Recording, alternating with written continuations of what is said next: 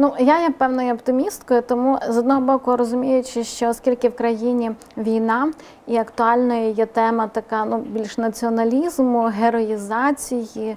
А часто в цьому такому дискурсі героїзації жінки це чи ну ті жертви, так ті, які чекають на героїв, або там які страждають, і ті, які там люблять героїв, є окрасою. Тобто ми розуміємо, що в такому більш націоналістичному ключі фактично далеко не завжди жінка є активною. Е, такою партнеркою е, е, чоловіків. Хоча в реальності ми бачимо, що жінки, ті, які волонтерять, наприклад, так вони не тільки воюють, вони волонтерять, вони займаються там громадською активністю, вони працюють там на кількох роботах, тобто реакція є інша, але не хочеться, щоб ось така теж певна така медійна. Героїзація, вона знову ж таки була в цьому стереотипному ключі. Я буду мати надію, що все ж таки. Е, жінки, які воюють, а їх вже нараховується там ну, близько тисячі жінок, які були ну переважно це доброволиці, що вони отримають відповідний статус, так що Міністерство оборони, МВС розгляне е, розгляне цю ситуацію і буде певні суви. До речі, навіть ті жінки, наші героїні, наші респондентки, вони зазначали, одна, наприклад, зазначала, що вона не мала можливість навчатися. Частина з тих жінок, звісно, більшість вони хочуть повернутися до мирного життя. Частина хоче надалі продовжувати військову кар'єру. Так і нас чимало говорять про реформування армії, е, що армія має бути контрактна.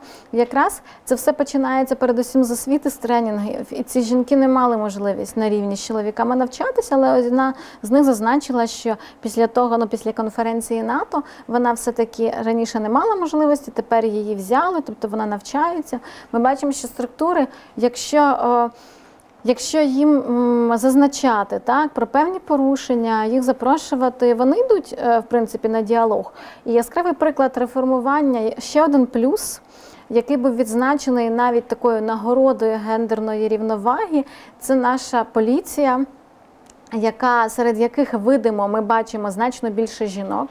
Так, тобто є жінки, дільничні е, інспекторки, і вважається, що ну це така хороша е, реформа в силових структурах, коли е, яка працює на абсолютно ну трохи інших цінностях ніж попередні силові структури. Тому вже є певний початок трансформації е, силових структур. Було б дуже добре, якби так само ну, відбулося в там більш збройних силах, так в Нацгвардії, ну от в інших так само ми робили дослідження про жінок дипломатії, яких одиниці.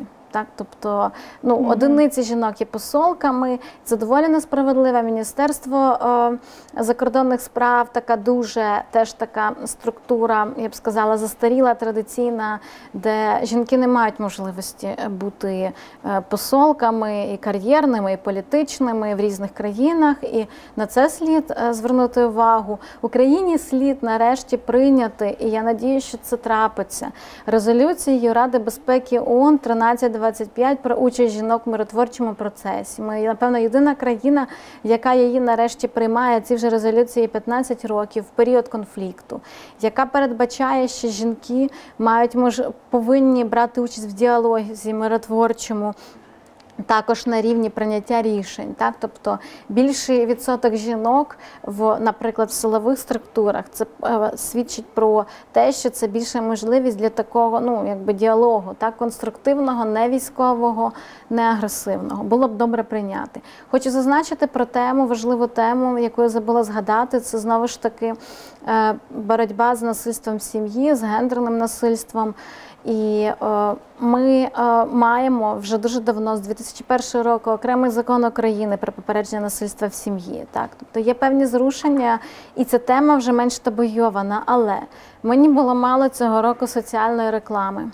Мені здається, що все-таки слід більше поширювати інформацію про гарячі лінії, куди слід звернутись. Дуже хочеться, щоб Україна прийняла Стамбульську е, конвенцію, яка стосується якраз теж от тематики насильства в сім'ї. Це такий важливий міжнародний документ, і е, він би е, краще стимулював ці так звані механізми так, боротьби з насильством. Це і більша кількість притулків, це і боротьба робота з так званими кривдниками, тому що ну.